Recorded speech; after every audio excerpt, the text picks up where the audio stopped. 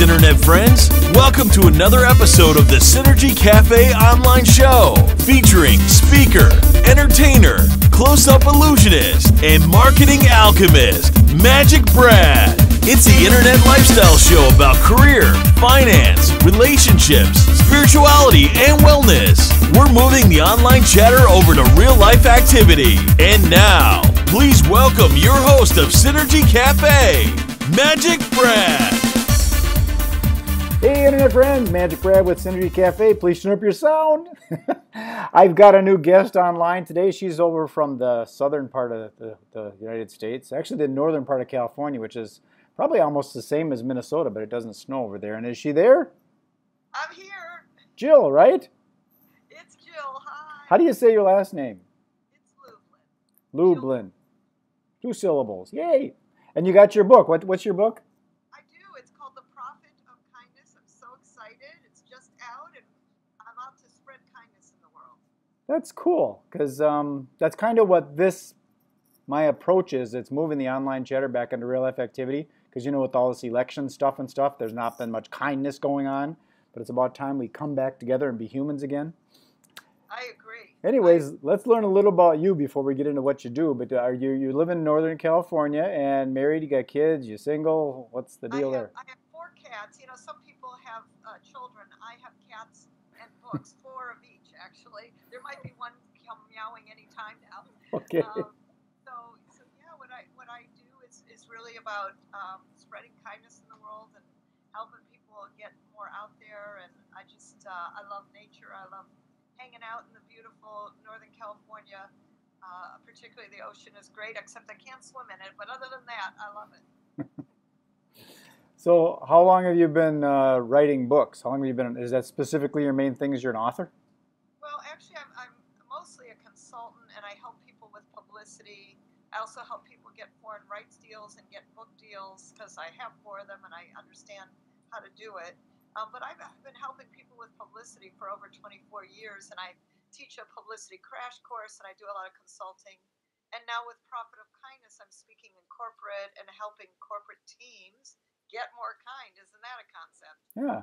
I can see how that can kind of interweave too, because the, the people that are publicists that I know, they're people people.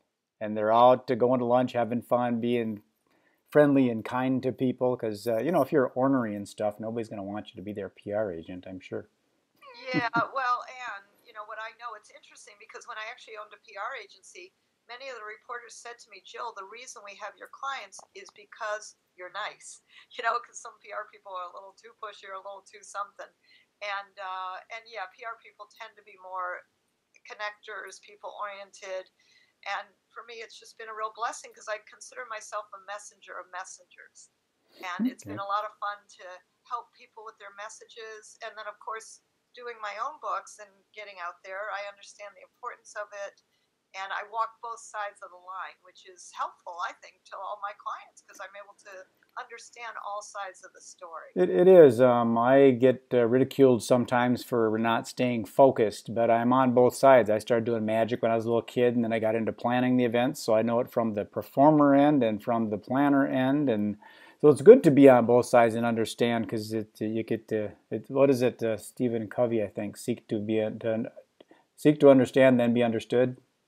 Ah uh, yes, yeah. and I do think understanding all aspects is excellent. You know, it's um, it gives one a, a little bit of an edge. Let's just say. Give us the basics of what your book on kindness is about. Sure. Well, the profit of kindness is about how to be more kind with. I call them. You know, most people are concerned about ROI. Mm-hmm. Of course, return on investment is important. We call it ROK, return on kindness. And we have several rocks to uh, new kinds to actually have more kindness. Words like compassion, generosity, connection. Uh, those are all key elements and part of what I call my sevenfold pathway to kindness. So we outline a pathway to kindness. And interestingly enough, what I discovered in the research for the book is that, you know, surprise, surprise, kind people are happier. They uh, make more money. They create more and better relationships there are people that people really want to be around because kindness is a universal value. Mm-hmm. Regardless of anything else you believe and anything else that's going on in the world, kindness always works and always prevails. And that includes in companies. Com- you know, interestingly enough, this this I thought was fascinating with companies is we ended up um, finding amazing companies, many of you whom you've heard of, like McDonald's, who ran a Pay It with Lovin' campaign, where hugs actually were the new money. I think we should do that all the time, personally.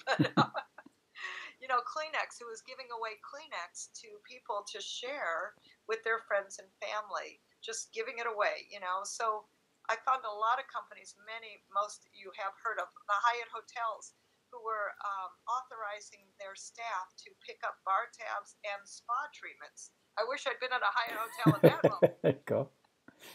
During that campaign, but that's what I'm talking about is that companies have now realized the importance of of kindness and are actually promoting it. So where does that? I mean, this is sort of a side thought that came to my head because I'm a little bit challenged because I do a lot of stuff on the internet, and it's really easy for a person to hide behind the keyboard and be a jerk. So, what are your thoughts on using social media and being kind? Because it, it, it's really hard to like be kind on the internet. Not not that it, you, you don't have to be a jerk, but how can you really express that other than video like this? I try and be myself and then this is who I am. So I try and be as kind as I can. But when you're writing stuff, I mean, you can only take so many of those little hearts and all that kind of stuff. Isn't how authentic is it, you know?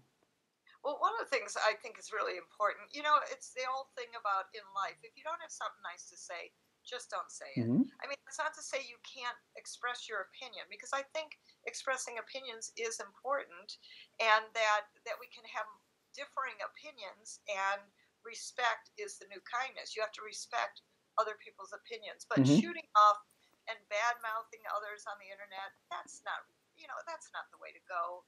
And it's really, in a way, a cowardly way because it's easy to just, as you say, hide behind a keyboard and say mean things. But how about uh, just you know, yeah, either just keeping your keyboard shut.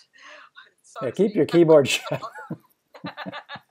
keep your keyboard shut, or things and spread some positive vibes. And again, that's not to say you have to agree with everything. I mean, I've been, you know, faxing, social meeting, uh, you know, making calls around some political things myself lately, and that's all good. Um, there's nothing wrong with that. Let's, but but keep it. Uh, it doesn't have to be mudslinging. Right. We've seen that's done, and frankly, now we've ended up in a time where people seem to have carte right and carte blanche to just sling mud and to discriminate. Well, that's, that's kind of what I was getting at with the internet. It's so easy to do that and to hide because you know you probably don't really know that person from Miami, Florida, or whatever because he's just a Facebook friend, so you can kind of do whatever you want. But other people see that kind of stuff. So if you're not being kind, uh, like I've always said, the you know there's that that factor about uh, the know like and trust factor. I've always added respect to the end of that. Because once somebody knows who you are, and that's the reason for this interview, so people get to see who you are, and hopefully they'll like you, and then they can trust you, and then they have respect for you, and then they buy the book because they believe in what you know. You got a got a commonality. So I think that's important. You brought up that respect part. Absolutely, thank you for that. So before I get into answer asking my favorite question, why don't you share how we can get a hold of you with the book? If you got a easy to remember domain name. Other than that, I put the links, of course, in the in the video and all that. But uh, share with how do we get a hold of you to learn more about your services and your book. Oh, thank you. So check it out. That's the book cover again. It's uh, notice the heart, by the way. I I really asked the publisher, please put a heart on it. okay. put a heart. We love that. So go yes. to profitofkindness.com and uh, you can buy the book. And then if you want me and and I would love to help you with any support you might need. Go to support at, and that's my name, support at jilllublin.com. And then, Brad, if you would just write that in the links, because sometimes the lots of L's, but support at jilllublin.com and let me know how I can help you. Okay, well, the way you can help me is by sharing the love and uh, spreading this out once I get it up there and propagated. That's uh, how this whole internet thing works, you know. But here's my favorite question, and this is my big why question why did you get into the career path that you got into? Why aren't you like a kindergarten teacher or a ski instructor, or why aren't you like a, I don't know, archaeologist or something? Why are you doing what you're doing? well, archaeologist, because I could never remember all those scientific terms. But um, I actually started in the music business as uh, director of promotion and publicity. And I've always been in entertainment. I worked with creative people, in fact, magicians too, um, and, and musicians and all kinds of artists. And I've always loved working with creative people.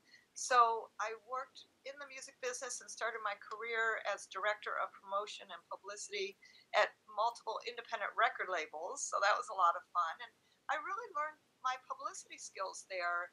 Um, and then opened up my own PR agency, ended up working still with a lot of musicians and artists, and started expanding that to business people, and then got, as I like to say, tapped on the shoulder to write a book called Guerrilla Publicity. And that was with Jay Conrad Levinson, who is amazing, who started the whole guerrilla marketing mm-hmm. series. And that actually really started my career as a speaker and a consultant and helping people get book deals. So that's just um, levied at a whole nother a whole nother level. And from there, I've just been I'm doing a lot of speaking and a lot of consulting, teaching my publicity crash course, and all kinds of fun like that. And it really seems to cut. You know how sometimes we plan our path and sometimes we find our path. Sure. And I think I really found my path that's natural for me, which is promotion, publicity, helping people with publishing that's a natural pathway for me. Well, it definitely shows. I can see you're a kind person just by your smile, and that's what it takes to make those relationships. I've never seen anybody do good in business when they come in all grumpy and angry and stuff. So. It doesn't help. And thank you for the acknowledgement, and you too, and thank you, of course, for your great show. Okay, well, I'm going to sign this one off and beam it up to the internet. So thanks again, Jill. If you want to stick around, I can chat a little bit longer with you, but I'm going to put this one in the can, as they say. So. All right. Bye, everyone. Thank you. Peace.